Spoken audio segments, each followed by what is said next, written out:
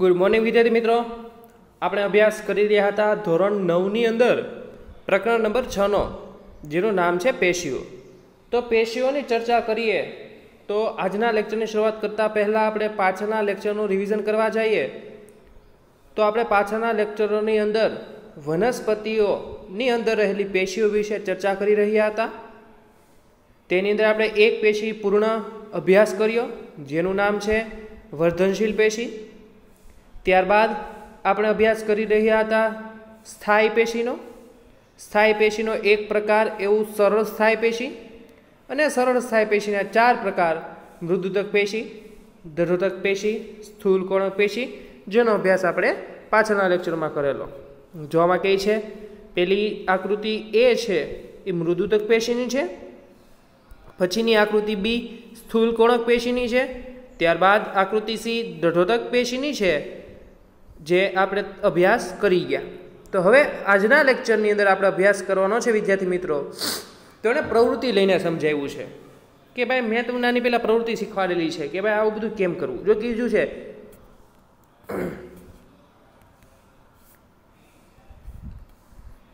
Rio જેને કહેવાય છે ટ્રેડેસ કેન્શિયા, એટલે કે રિયોના તોડેલા તાજા પર્ણ. બાળકો આ એક પ્રકારની વનસ્પતિ છે, જે આપણે અહીંયા જોવા મળતી નથી.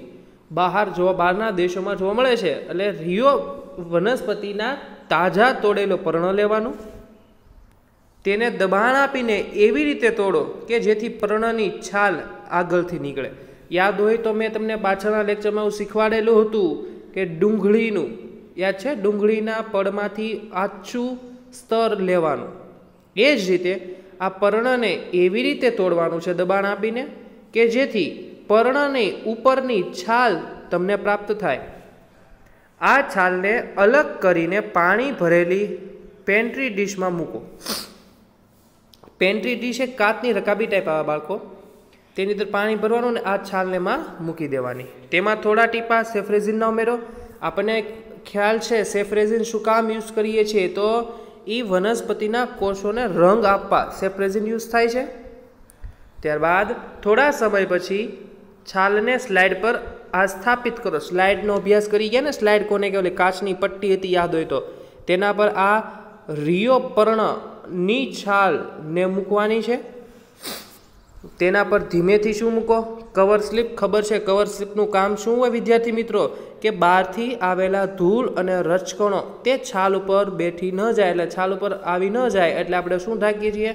કવર સ્લીપ તેનું સૂક્ષ્મદર્શક યંત્ર દ્વારા અવલોકન કરો. સૂક્ષ્મદર્શક યંત્ર દ્વારા અવલોકન કરતાં પણ તમને શીખવાડેલું હતું, યાદ હોય તો, પાછળના લેક્ચરોની અંદર. તો હવે તમને શું જોવા મળે છે? જો કહે છે કે તમને અવલોકન કરી શકો છો કે સૌથી બહારના સ્તરના કોષો? છાલ હોય છાલ, તો એમાં કોષો તો હશે ને? તો સૌથી બહારનું સ્તર, છાલની સૌથી ઉપરનો ભાગ, જેને આપણે શું કહેવું અધિસ્તર. ફોર એક્ઝામ્પલ તમારા ઘરની સૌથી બહારનો ભાગ એટલે દિવાલ થઈને આપણા ઘર હોય, ઘરની સૌથી બહારનું અધિસ્તર એટલે શું? તો કે ભાઈ બહારની સાઈડની દિવાલ. તો એમ, કોષોની ઉપરના સ્તરને, કોષોની સૌથી ઉપરના સ્તરને શું બોલાય? અધિસ્તર બોલાય છે? અધિસ્તર સામાન્ય રીતે એક સ્તરનું બનેલું હોય. યાદ રાખજો વિદ્યાર્થી મિત્રો, વધારે શુષ્ક વસાહતોમાં આવેલી કેટલીક વનસ્પતિઓમાં અધિસ્તર જાડું હોય છે. શુષ્ક એટલે ભેજ રહિત જ્યાં ભેજ હોતો નથી. ત્યાં ફોર એક્ઝામ્પલ રણ પ્રદેશોની અંદર અથવા જ્યાં ગરમીનું પ્રમાણ વધુ હોય, એવા પ્રદેશોમાં જે વનસ્પતિઓ વસાવટ એટલે જ્યાં વનસ્પતિઓ ઉત્પન્ન થતી હોય એવા પ્રદેશોની અંદર, તો તે વનસ્પતિની અંદર રહેલા કોષો ઉપરનું સ્તર, અધિસ્તર કેવું હોય છે? જાડું જોવા મળે છે.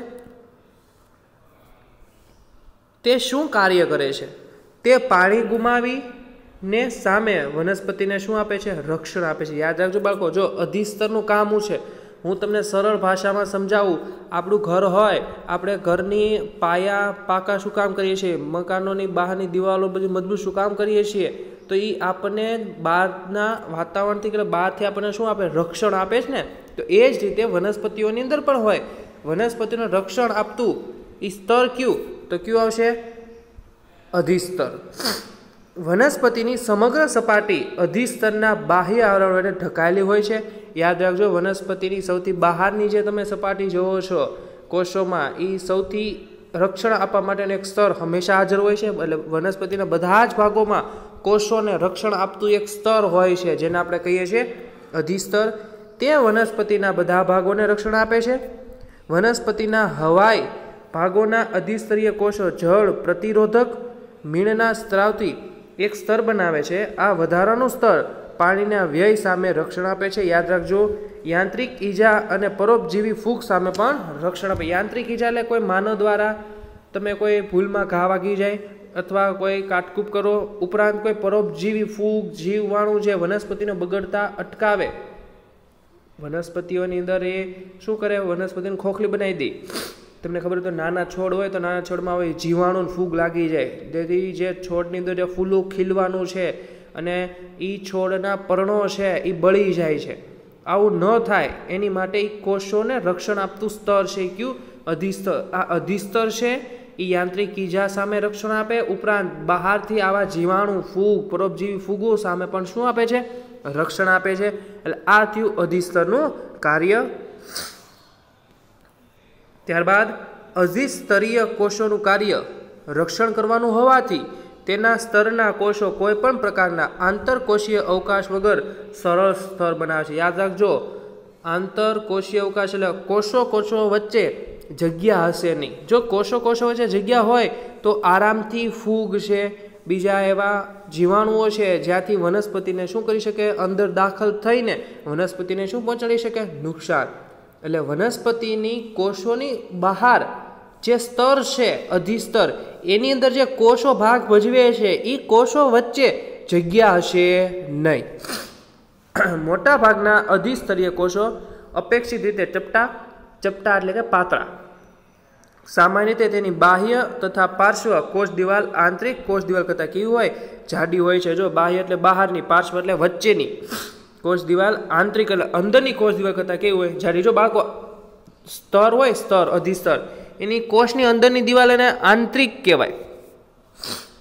આંતરિક કોષ દિવાલ. એની ઉપર બાહ્ય પાર્શ્વ આવે ને સૌથી બહારું આવે, બાહ્ય આવે. સમજાણું? જો, અહીંયા એક્ઝામ્પલ આપ્યું છે, રક્ષક કોષો અને અધિસ્તરીય કોષો વિશેનું. જો આ રક્ષક કોષો છે, જે અધિસ્તર બનાવે છે, અને અધિસ્તર કોષો. છે? દેખાય વસ્તુ? આગળ જોઈ એની અંદર દેખાય પાર્શ્વ દેખાવ. પાર્શ્વ એટલે વચ્ચેની સાઈડનો દેખાવ છે. જો. અને બી શું છે? સમતલીય દેખાવ. જ્યારે સમતલમાં હોય ત્યારનો દેખાવ છે. હવે આપણે પર્ણના અધિસ્તના નાના છિદ્રો અહીં અવલોકિત કરી શકીએ છીએ. આ છિદ્રોને વાયુરંધો કહેવાય. જે આપણે પાછળ આકૃતિમાં જોયા જો વાયુરંધો. જોડીએ. આ વાયુરંધો છે. આ છે જે બે વાદળ ટાઈપ દેખાય. વાયુરંધ્રો છે.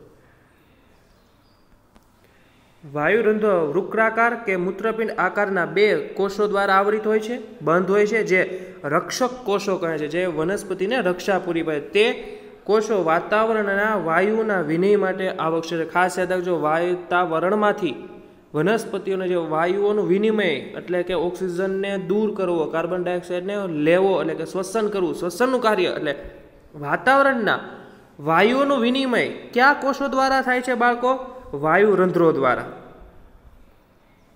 બાષ્પોત્સર્જન એટલે ઉસ્વેદન એટલે કે શું? બાષ્પ સ્વરૂપે જે પાણી ગુમાવવાની પ્રક્રિયા છે ને બાષ્પોત્સર્જન અથવા ઉત્સ્વેદનની પ્રક્રિયા પણ કોના દ્વારા થાય છે? વાયુ રંધ્રો દ્વારા થાય છે. તો આજના લેક્ચરમાં, વિદ્યાર્થી મિત્રો, આપણે અહીં સુધી રાખશું અને આજની તારીખ મારી તમારે અધિસ્તર વિશે ત્રણ વખત લખવાનું છે અને તે જ્યારે સ્કૂલ ખુલે ત્યારે બતાવવાનું રહેશે.